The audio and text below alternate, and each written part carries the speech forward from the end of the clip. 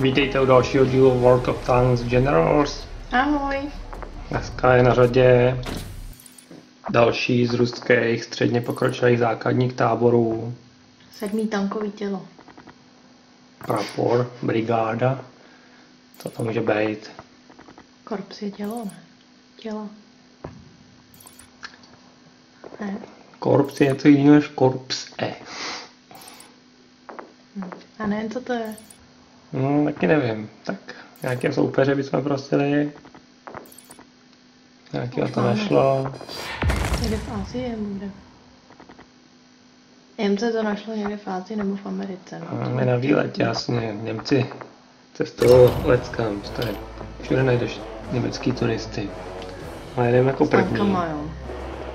Jdeme jako první, ale je to nějaký podivný. No nic, takže Dej něco na zdroje. no bych rád, ale není. Tady je jeden malinký. Jsem mohl dát. No tenhle ten, když se zraní, tak dává zdroje. A máme celkem solidní palebnou sílu. A navíc rychlejš ničíme nepřátelský jednotky. Proti nám stojí Němci, kteří mají taky velkou palebnou sílu, a jenom když mají málo karet v ruce. Čili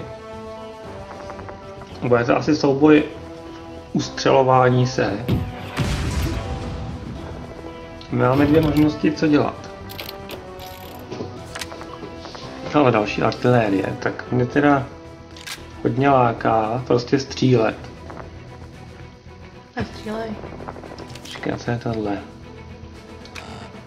Mohli bychom jim zničit tenhle jejich lehký tank, což by mohlo mít jeden pozitivní důsledek, a to ten,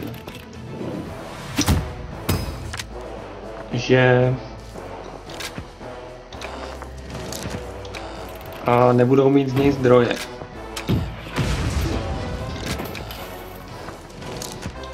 Jo, takže oni mají jenom čtyři zdroje a mají velký problém zbavit se těch karet, které mají v ruce.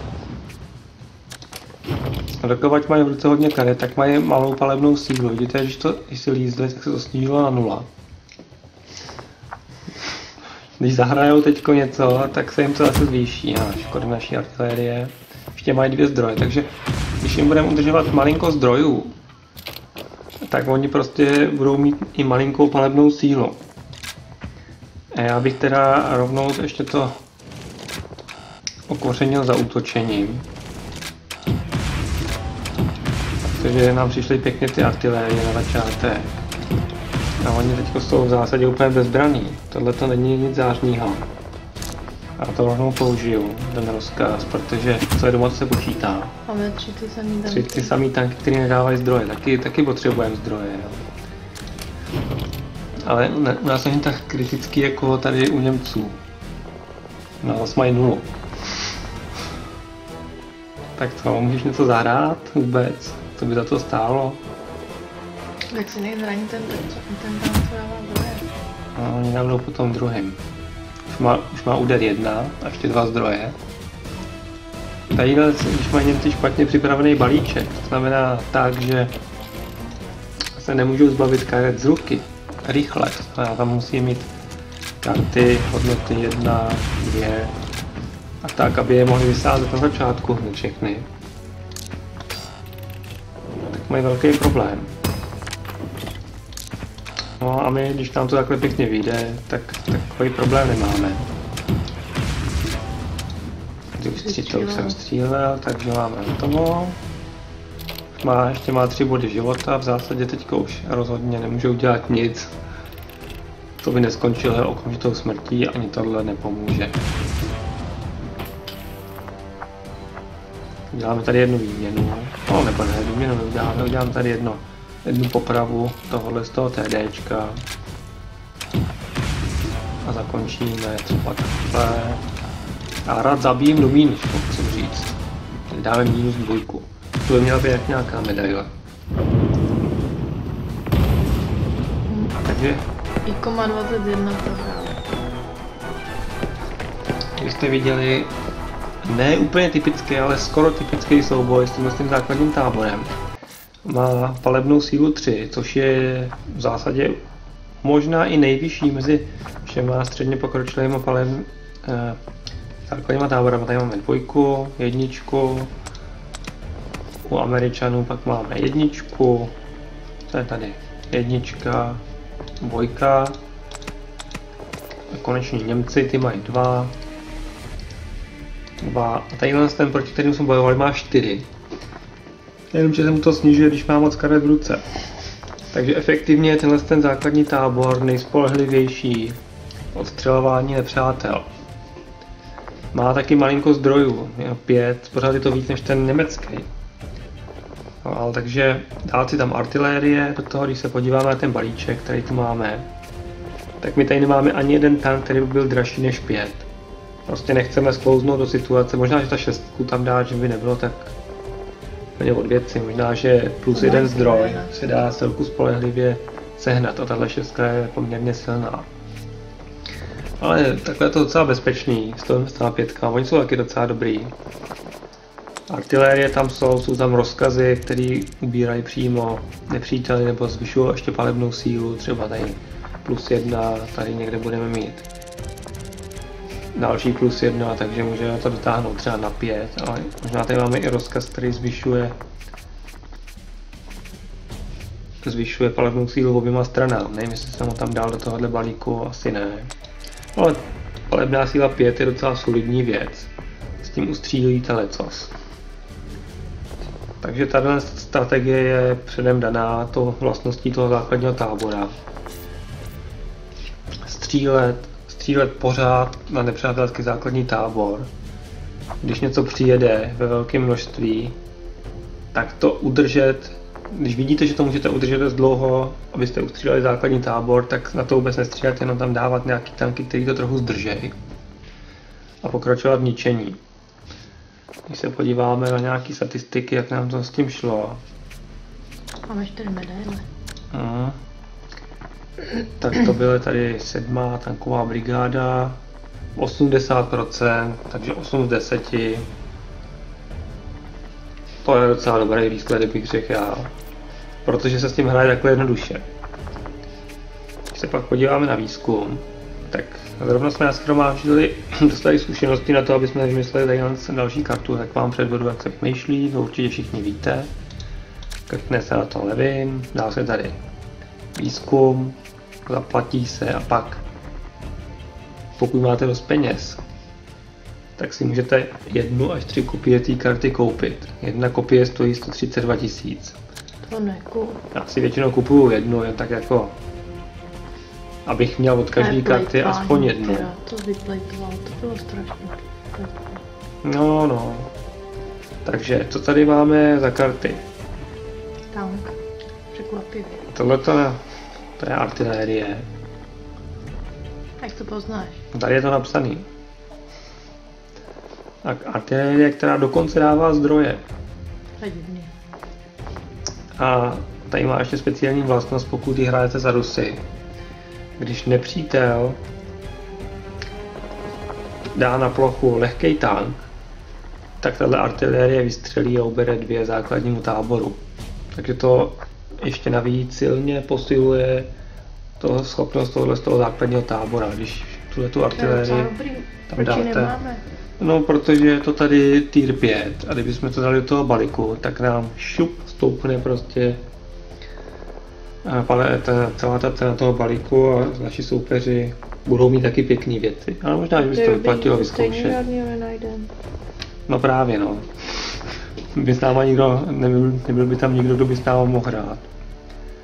Takže to je moc pěkná artilérie, až se ta hra dostane z té bety a bude dost lidí na všech eh, vlastně ve všech těch kategoriích podle síly balíku, tak dát to tady z tomu táboru by mohlo být hodně silný. Samozřejmě může být problém udržet to naživu. Má to 6 života, a nepřítel třeba nemusí hrát lehký tanky. Tak toto jsme zrovna teďko vyzkoumali. Zdraví tři body našemu základnímu táboru. A zároveň to z našeho balíku vytáhne jednu náhodnou, náhodnou četu a rovnou ji nasadí. To ovšem se provede jenom pokud hrajeme za Rusy a pokud hrajeme za útočný základní tábor. Třeba zrovna tenhle ten je útočný, tady vidíte tu vlaječku. Tady to máte označený tou vlaječkou a ruskou vlaječkou, že to prostě platí jenom v téhle kombinaci. Vlastně jiný ruský útočný základní tábor než tenhle ten asi není, protože tenhle ten původní je nějaký tréninkový. Pro ten to prostě nebude tahle ta vlastnost platit, takže to jenom zdraví. Tři body života, to se ani nevyplatí sebou brát. Další karta, to je nějaká extra levná. My jsme ji klidně mohli vyzkoumat, ale nevím, jestli to to stojí. A způsobí, že jednotka, kterou z ní zaměříte, nemůže oplácet úder.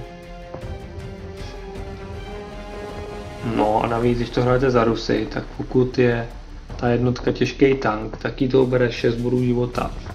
To za dvo, dva zdroje je docela solidní věc. To vyzkoumej.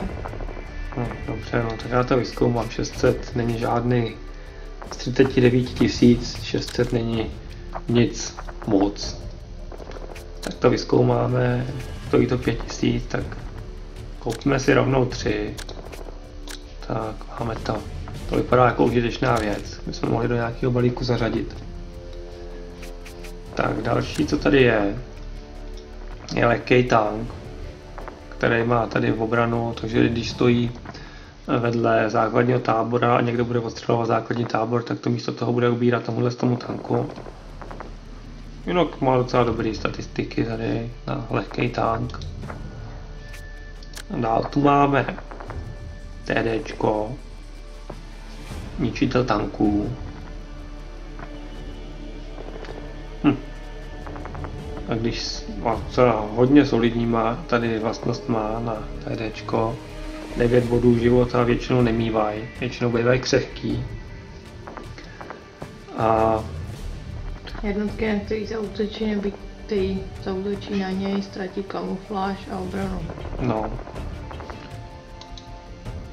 A co tady zbývá dál? T-34, střední tank, Třeba mass production. mass production.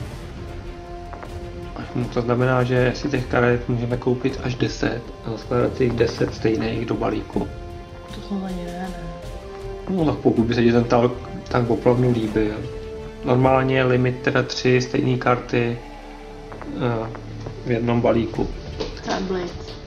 A Blitz znamená, že ho můžeme nasadit na plochu, oni bychom zaplatili tyhle ty zdroje. Ale místo toho vyhodíme tolik karet z balíku. To ani moc dobrý teda. No, tak jako třeba pro ten základní nábor těch Němců, když mají jenom čtyři zdroje a potřebují se rychle zbavit karet, tak by to mohlo být dobrý, kdyby tam měli nějaký tanky, který mají blitz. Tohle má ovšem blitz jenom, když to hrajete za Rusy. A v obranu taky, když to hrajete za Rusy. A teď nám teď zbývají tyhle ty, ty mastné karty, které jsou pomalu dražší. Tahle ta je dražší než ten následující základní tábor. Velitelství. Tak, nejdřív tady máme rozkaz. Udeřte je tvrdě. Všechny nepřátelské jednotky ztratí v obranu, to znamená nemůžou bránit základní tábor konce kola.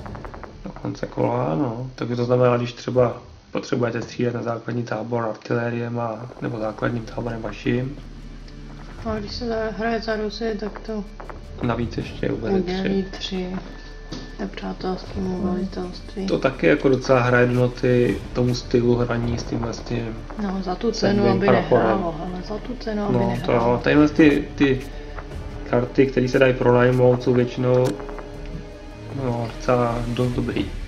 To jo, ale 30 až 30 tisíc, jenom na výzkum, kolik takhle bude stát, až to budeš koupit. No, to se můžeme podívat na některý z těch levnějších. Tak poslední karta, kterou tu máme, má pěkný obrázek, co? Ty mají vždycky lepší obrázek, ty drahý, koukám. Takový pestrej. To je Mad Bomber. Je to četa.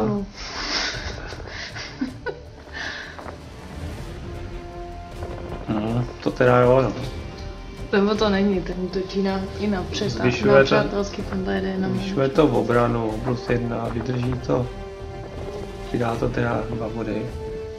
Když začne kolo, tak tohle to se samozničí, ta četa. a ubere 6 bodů náhodně rozmístěný mezi nepřátelský jednotky základní tábor. No, je to pěkný, no. To má ani...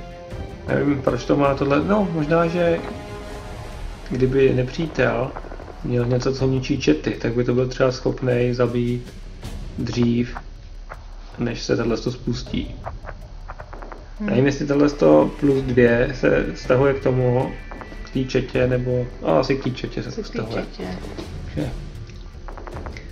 když je to vlastně obraná četa, tak ono jí to bude ubírat. Pokud nemáte nějakou vyšší obranou četu a při normálně střelbě na základní tábor, takže není úplně nerealistický to zničit. Ale i tak. Tak, a ten následující základní tábor, který bude trvat hodně dlouho, než se k němu dostaneme, vypadá taky, že to je útočný. A za tři zdroje můžeme udělat jeden úder tomu, tomu na co si vybereme. A můžeme to možná udělat několikrát, budeme mít dost. Takže má to jenom 6 svých, takže to asi nebude tak horký.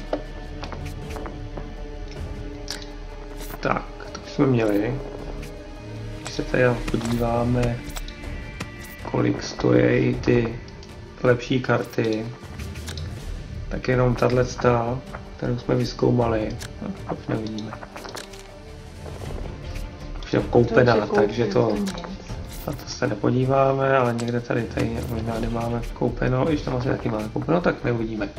Na to se podíváme, až budeme mít dost peněz na výzkum. Tak jo, já se s vámi pro dnešek rozloučím. Já taky. Tak se mějte. Ahoj.